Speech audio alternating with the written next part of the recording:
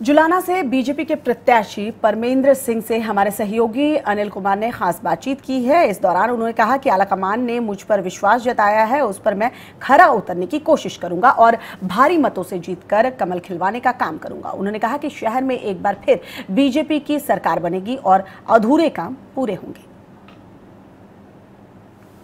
नमस्कार आप देख रहे हैं आर नाइन टीवी और मैं हूँ आपके साथ अनिल कुमार जुलाना। विधानसभा क्षेत्र से पिछली बार दो लगातार दो बार विधा, विधायक रहे परमेंद्र सिंह ढूल को। यहाँ से बीजेपी ने अपना प्रत्याशी घोषित किया है और हमारे साथ में एक्सक्लूसिव सबसे पहले आर नाइन टीवी पे है परमेंद्र सिंह ढूल हम उनसे बात करते हैं जुलाना विधानसभा में प्रत्याशी बनाने पर उनका क्या कहना है और कौन कौन से मुद्दे लेकर के वो क्षेत्र में जाने वाले हैं। अब की बार कितना जीत का वो दावा करते हैं।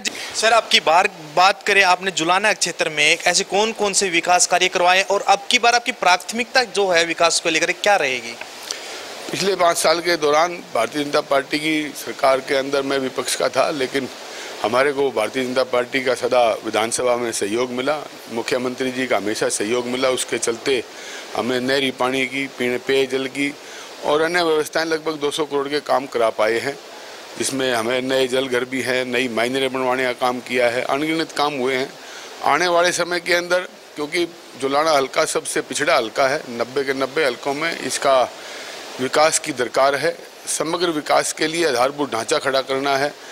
शिक्षा के क्षेत्र में, स्वास्थ्य के क्षेत्र में, खेल के क्षेत्र में और रोज़गार पैदा करने के क्षेत्र में बहुत से काम अभी बाकी हैं। उन कामों को प्राथमिकता के आधार पर करवाया जाएगा ताकि हमारे इलाके के तमाम वर्गों को आगे बढ़ने का मौका मिले। जी बिल्कुल, ये थे हमारे साथ में जुलाना विधानसभा से बीजेपी प्रत्याशी परमेंद्र सिंह डूल इन्होंने कहा कि जुलाना विधानसभा में विपक्षी ज़रूरत है लेकिन करीब 200 करोड़ रुपए तक हमने यहाँ पे विकास कार्य करवाए हैं। पानी की व्यवस्था हमने यहाँ पे करवाई है, अन्य विकास कार्य करवाए हैं। अब की बार भी हमारी प्राथमिकता रहेगी, जुलाना को पिछड़ेपन से उसको दूर करना होता है और जल्द ही नामांकन दर्ज करवाने का हम जल्द ही नामांकन दर्ज करवाएँगे। और जुलाना से आर टीवी के लिए अनिल कुमार।